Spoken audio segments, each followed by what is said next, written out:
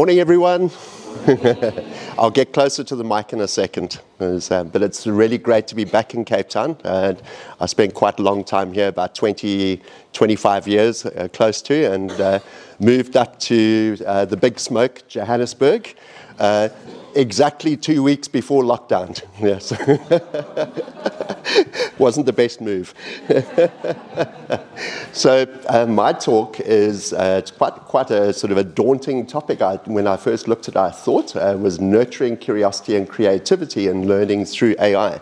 Um, but actually, it's really exciting. There is so much we can do in this space. Um, so let's have, a, let's have a little bit of a look. So what is AI? So it's really a generic term at this stage, or general term, um, for uh, it encompasses an ever-growing uh, list of areas. As, um, so there's natural language processing, which is probably one of the most interesting and important ones at the moment.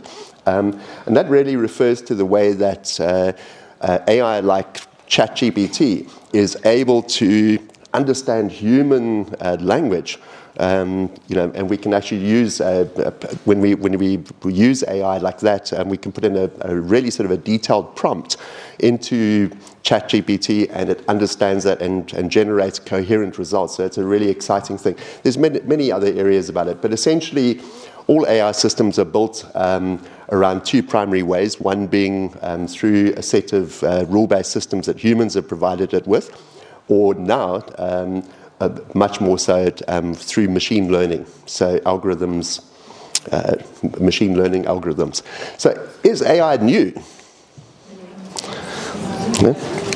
It's, it's actually not. It actually has got a really long history. So I think one of the interesting things was uh, Alan Turing, um, very famous uh, computer scientist, um, scientist in general, um, in 1950 wrote this paper called the Uh, computing Machinery and Intelligence. And it's worth a read. It's not complex. Uh, it's, it's about 21 pages, and it's such an insight into this great man's uh, mindset. Um, and so it's, it's, it's, downloadable, and it's really worth it. So if, if you uh, see the first line of it, uh, where he talks about the imitation game, uh, so you might remember that 2014 movie called The Imitation Game, and that's where the name of the movie uh, com comes from, really. so what he proposed, he was asking a question is, I propose to consider the question, can machines think? You know, so this was a topic in 1950 is, is it possible that machines could, could think? And, and he then unpacks uh, that we need to understand what is, what is a machine, first of all, and what is thinking. No, what is thinking?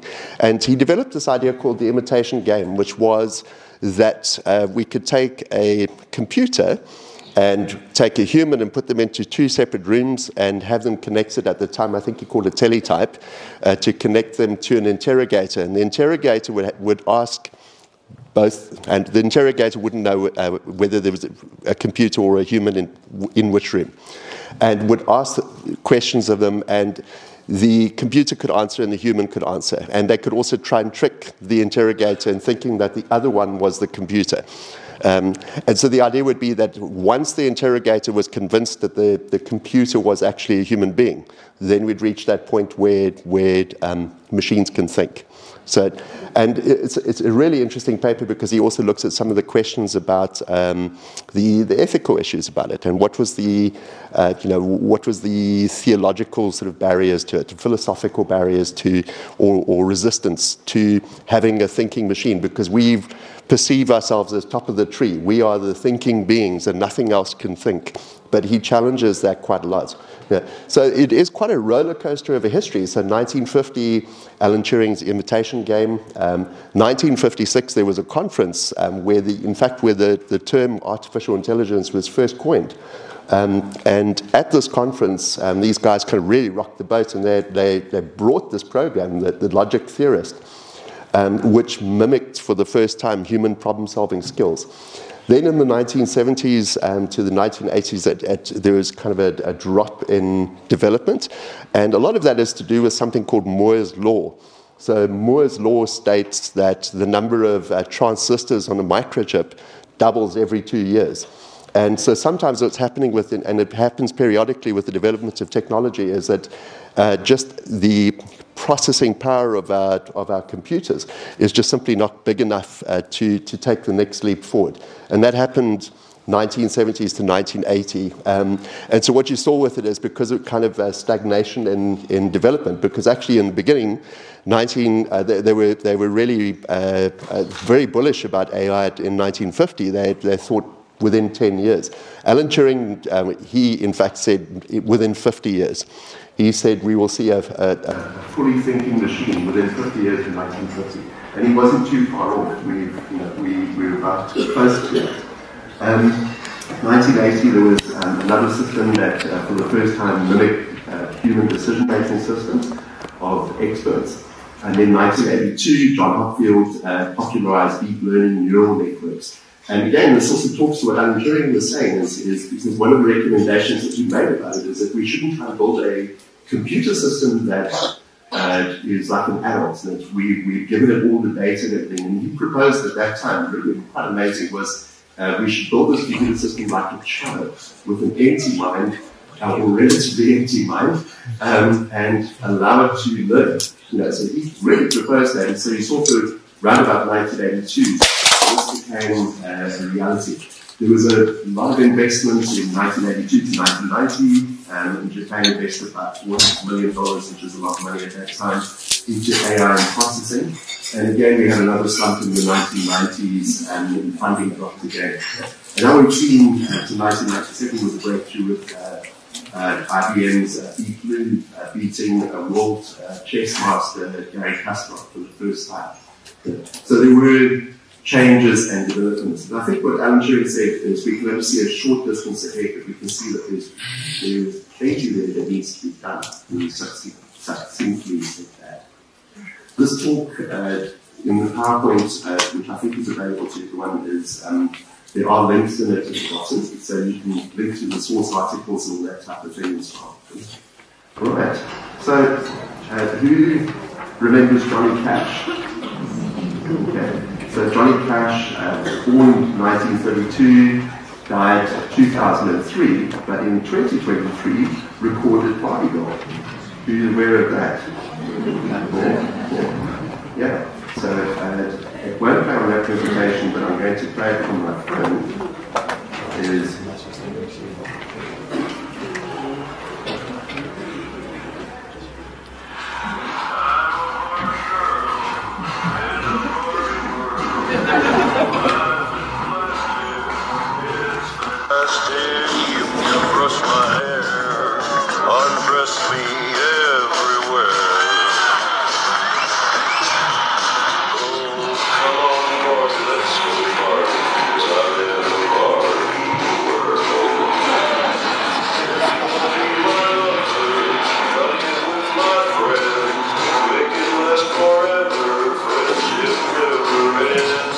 So, uh, that is actually not Johnny Cash, um, but that's an AI. Um, you know, so that's an AI, um, um, and there's an AI system called Voicely that you can actually take. You can make your own mashups uh, between your favorite artists and get them to play a song. So, I mean, just thinking about creativity there is, you know, how, how exciting that you could actually, for instance, um, write a song um, and then get your favorite artist to actually play it for you. Yeah? Um, have some fun with it. You know, so there's some really interesting things there. So AI right now is busy exploding into the into the public domain, but obviously it's been there in the academic spaces and the research spaces for, as you saw in the, the previous slide, for a long time. You know, there's been development happening. But we're now in the space where um, us mere mortals uh, have access at our fingertips um, to many, many, many powerful types of AIs. And not only us, but all have access to, to these materials. Yeah. Right. So uh, that there, uh, you might have seen, I think it was in about uh, July or August, um, where the Hollywood actors were going on strike. Um, and one of their primary reasons was um, to do with AI. You know, that they their uh, IP uh, is being uh, taken from them in a sense, you know, where you actually have an artificial intelligence that's able to mimic them completely, as you saw with the voice one there, um, and also in terms of actually creating an avatar of that human being um, and put them into a movie. So we might have immortal actors um, coming to us, or coming to a theatre soon. Yeah? So it's quite an interesting thing. So AI, um, you know, these are the, what's happening today is, is, it sparks a lot of debates, um, but these are not new debates. I mean, as you know, um, you know, there's things like 1942, Isaac Asimov, the famous science fiction writer and scientist, uh, uh, proposed the three laws of robotics in 1942, and that subsequently uh, modified it to four laws of robotics. Um, and then, obviously, Alan Turing, um, in that paper, we listed a lot of objections. Um, if you remember a movie in, 19, in the 1982, I think it was uh, Blade Runner. Um, so um, that was based on a book, Philip K. Dick's Do Androids Dream of Electric Sheep in 1968. And that was questioning uh, many things, you know, like um, for instance, um, you know, when does a being, when does an artificial being actually be treated as a person? That, and and that's a that's a debate today that's happening too. Is is you know, is there will we reach quite soon a point where AI will actually be given uh, legal status as as a as a, as a thinking entity? Yeah?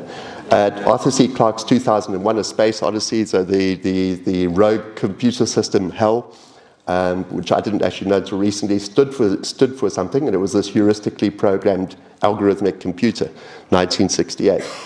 So a lot of this is entrenched in our psyche as well about AI, um, you know, that it might actually be malevolent, um, you know, that it's going to go rogue on us. And there are concerns, obviously, about that, you know, that um, where, you know, what are the, the lines? Are we going too quickly with AI right now? You know, um, is potentially the, the case. And do our laws, our laws caught up with the developments that are happening with it? But that's also a symptom of the fourth and perhaps fifth industrial revolution that we are in today. What we do know is that AI in the education space uh, is going to grow incredibly um, in the next few years. So this is a, a forecast from last year, uh, 2020, 2022. So the entire global market for AI just in education was about 3.9 billion dollars and it's going to grow to about $47.7 billion um, by 2030. So there's going to be a lot of AI interventions into, into our education space. And we also need to understand how that might impact on us. But I think that's actually staggering growth, is that 36.6 uh, compound annual growth rate, you know, percent per annum, you know, so that it's growing by, which is amazing. So Dr. Nicole Turner, in a paper that was called AI and the Future of Teaching and Learning, um, said first and foremost, uh, AI systems are getting deployed in educational contexts that are already fragmented and broken and unequal. Technology doesn't discriminate, we do.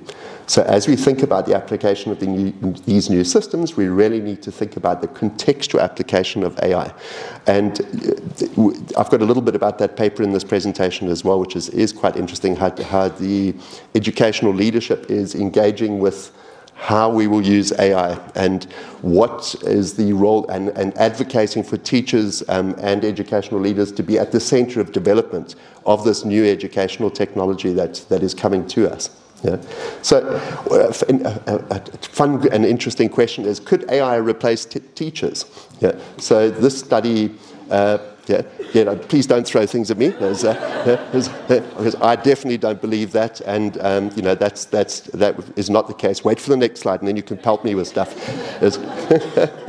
yeah. But um, McKinsey did a study last year, um, which was very interesting, where they were. Um, this was a global teacher survey. Um, they did. And as you can see on the screen, um, it, showing that about 50%, uh, 49% of a teacher's time is actually spent in interacting, direct interaction with students.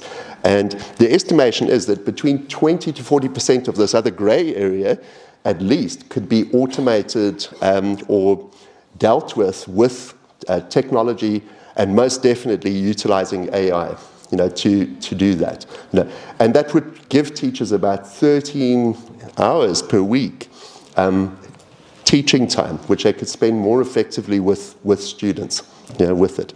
So it, it is pretty interesting. If we harness this technology properly, we could actually be doing a lot more as, as um, educators. So there's a, um, I've got a link to it in the presentation, but there's a good study that came out from the US uh, Office of Educational Technology, um, where they uh, considered AI in education and said most definitely uh, teachers need to be, and students need to be at the center of this development as well. Um, so a human-centered approach to AI. And realize there's many things that it could do. So for instance, it can it foster new interactive experiences, um, enables communication between students, teachers, and computational resources. So I mean, I think the days uh, potentially of um, where we're looking at application skills that we need, you know, we need to be computer literate in terms, and that, you know, that meaning about, uh, if you look at the coding and robotics curriculum, we've got the whole strand application skills in there. Um, I challenge that as I think um, pretty soon that's going to be totally irrelevant. I think we, will, we will soon reach a point where we will have an Excel spreadsheet um, replaced by an AI, and we will simply talk to the AI and say, hey, I've got all this information here, I need you to analyze it in this and this way. You know, I need the results. And I don't, because I don't know about you, but I really don't care about learning equals concat, open brackets, the range to this and this. It's not really fun. You know, it is, you know under, doing that is not the is not what you're really after. What you want to be able to do is to analyze the information. You want to, that is where you're trying to get to, and you have to have this big hurdle to, to actually do that. You know, you have to become a, a, an absolute master Excel specialist to actually analyze this type of stuff. And I even think things like websites are going to disappear. Um, you know, I think websites, as we understand them, within my guess, 10 years, we will not see websites in the same way that we see them today. And that when you go to a web address, you will actually be facing an AI. Um, an avatar might look human, it might not. Uh, might be dressed in a corporate uniform of whatever website you're on, and it'll ask you, "How can I help you?" And you can talk to it. You know, you will talk to the AI and say, "Well, I'm looking for this, I'm looking for that," and it could have a, because of our track record that we've got on the internet, all our history and all that type of thing, could actually make very tailored uh, recommendations and suggestions to you as well. And I think we're going to see that a lot more in the future instead of us having to navigate websites and uh, you know, unnecessary stuff and speak to an AI. If you look at things like ChatGPT at the moment, um, who's played with ChatGPT? Awesome. I think there's everybody should should be on it and trying it out. It's amazing. There's you know, but the the, the downside of it, when I think about it, is um, it's a bit like uh, uh, approaching the oracle. You know, so we've got this kind of like oracle there because the you you talk to the oracle and it provides answers from the divine uh, cyber heavens uh, to you, but it doesn't give you sources, does it? You know, um, so it's basically it's unlike when we're doing a, a Google search and we are we know to look through those searches and to critically analyze where this where the sources of the information is and is this relevant, is this not fact checking. It's very hard to do that in the ChatGPT type of space right now because you cannot see sources unless you own like a premium option and things like that. Then you believe you can. You know. Um, so, you know, that also is what do we do with learners when they're utilizing a resource like this? How do we get them to examine uh, yes, ChatGPT said that, but is it the gospel, you know, type of thing? You know, is, is, what do they need to do? So uh, some of the exciting things that are in the AI space is um, we can address diverse student learning styles and, and tailoring education to individual needs. Um, and you can see that is, um, you know, so I, teach special needs learners at Chartwell Centre for Coding and Robotics in, um, at a school in Kyalami in Johannesburg. And there, I've been able to, and I also teach mainstream learners after, after school that come for coding and robotics sessions. So on weekends. So, so what happens is, is I develop materials for my mainstream learners, and then I can take that same worksheet and plug it into ChatGPT and say, please adapt this for this age. Uh, this, this worksheet for this age um, and make this slightly more simplified you know, with it. Generate that and have a look at it, and then I will do tweaks to it, obviously. Um, you know, but there's a content that I authored initially, you know, and, and, it then reversions that content, and then I've actually plugged it into another AI and say, please generate an assessment for me on this. So I've got two assessments. One is for the mainstream learner, and one is for the special needs learner, um, you know, that I'm, I'm, catering for with that. So those are, you know, those are very practical, simple things you can do. Another thing I've done with it is, which I just mentioned is actually amazing, is, um, is uh, coding and robotics and AI um, are Swiss Army knives. Um, you know, they, these are incredibly, the subject coding and robotics is incredibly versatile. Um, so I work with the maths teacher, the agricul agricultural sciences teacher, the hospitality studies, art, woodwork, uh, English, mathematics, and talk to those teachers and say, what are the common problems? So currently at the school, well, at, at, the beginning of the year, one of the major problems was measurement. The kids were having a lot of difficulty with measurement. Yeah? And we then developed, in tandem with those different teachers, um, coding and robotics lessons um, that taught these skills you know, with it. So I encourage you to look at the AI, to look at AI like that as how can this be utilized in a, in a really exciting cross-curricular way. Um, so for instance, you can put in a prompt into ChatGPT and say, um, take, take a look at uh, grade 7 to 9 natural sciences and please let me know which topics from the grade 7 to 9 natural sciences could be taught uh, in a cross-curricular way using coding and robotics. And it will pull those topics out for you. It'll list all the topics and it will actually give you suggested lessons you know, with it. You can then take one of those suggested topics and say to generate a worksheet or generate a lesson plan for me based on that specific topic. So yeah, this is what I'm saying is we're actually in a very exciting space with it. You still need to look at it critically, um, but you could be using it to save yourself a lot of time. Okay.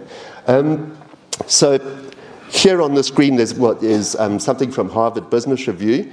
Wrote some, a really, really good article, which is linked to in here, um, about how AI can be used creatively, mainly in a corporate space, but um, a lot of the suggestions within that article are very directly relevant to the education space. So things like adaptive learning paths, um, AI can analyze each student's learning styles, strengths and weaknesses and provide a customized learning pathway. So really, what does that mean? You know, is we could be talking, we, I, will have a, a student whose key interest is rugby and another student who's interested in fly fishing. And, but we need to teach a, a single topic to those learners, but we can ask the AI to generate the lessons uh, around that child's interest um, with it. And actually, they each have a personalized worksheet for it, which we cannot do by ourselves today. We don't have the, the capacity to, to, to do that type of thing. So there's some really amazing things. This little uh, image that's on the, the right here is, uh, so I was doing an agile uh, uh lesson with the kids and saying, and using toothbrushes and footballs and hula hoops and things like this to teach agile um, and design thinking skills and to get them to build a, a bunch of different games um, you know, with it. And then we, the lesson was about agile thinking, design thinking, but also about um, uh, game mechanics, what makes a good game. So they, they, they, came up with some ideas. While we're doing this, one of the toothbrushes broke. You know, the head of the toothbrush broke. So they, they developed a game, some of the kids developed a collaborative game where they'd had two toothbrushes in their hand and they would pick up the, the, the, soccer ball. So I gave them, when I do this, I give them a bunch of eclectic objects uh, to, to try this out. And it gets their minds thinking and they have to develop a game out of that. So they would throw the, the soccer ball with the two toothbrushes, another kid would have to catch the, the soccer ball. And they built this collaborative, very interesting collaborative game out of it. But when the toothbrush broke, it I said to the kids, have a look at this. Here's the toothbrush, here's the handle of the toothbrush. Why do we throw this whole thing away? You know, I said, we, you know, we, what do we use? We just use the bristles. And then as soon as the bristles are worn out, we throw away the whole toothbrush. And I've, Cape Town, when I used to walk on the beach, I would see a lot of those type of things wash up onto the beach. Yeah. So he said, let's open this AI um, called OpenArt, and let's see if it can design for us uh, some ideas about toothbrushes with uh, disposable heads so that we'd, have, we'd be able to replace the, the head of the toothbrush and not throw away the whole thing. So that's actually an AI-generated design for that. You know, so that it's not perfect, but it's an idea, and it generated about four different designs. I just popped a screenshot of the one up there for you to see. But we could take those ideas and actually examine them. So I'm, I'm I don't have any artistic ability. I have, I'm, I'm an ideas person. But I could use the AI to bridge that lacking skill that I've got to generate something like that. And then uh, we could start to think about how we might uh, code that or, or at least build a prototype using a 3D printer um, from, from some schematics like that. The next slide here, this one on the screen is one of many ideas. Is, so this was the prompt that we gave this AI, um, this OpenArt AI um, was uh, give us some designs for a solar-powered uh, window cleaning robot that is shaped like a caterpillar. And this was its interesting design, you know, that, that, came up, you know, and that's a completely generated design. There's not, I mean, it's not that it's mashing photographs and all that. It's, it's an absolutely artificial uh, construct, you know, that, and it made many of these, which I thought was amazing. You know? So to lastly uh, to talk about is there, there, for instance, is that's the AIs uh, coming up with ideas for a, a coding and robotics classroom, how, you know, how it might look.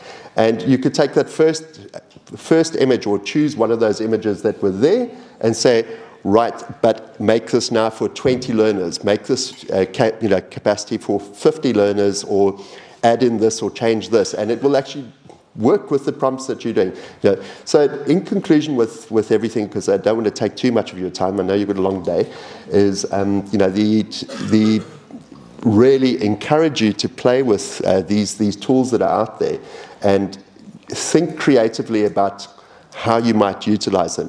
One very interesting idea that um, uh, I've seen and uh, I stole from someone else and we're trying it out at the school is put into ChatGPT um, a, a prompt such as we are at a conference and there's 200 teachers there. Please write a play. Please write a play about 200 learners attending the Oxford University Press Digital Summit um, and uh, make it a 20 line or a 20 line play with it. And it, it will generate a play for you. And then you say to it, now please change this into a Shakespearean style and we will have uh, ye old, you know, and it will. Uh, it's really fun to try, you know. So, and the kids at the school are basically taking those AI-generated plays in their drama, um, and and then are acting the, the play out. So, the, so that their agency is they're not having that they are coming up with ideas of what the play should be about, plugging that in, and then just generating a script uh, for it, um, and and then the kids are, are acting it out in the drama in the drama classroom as part of English, which is great.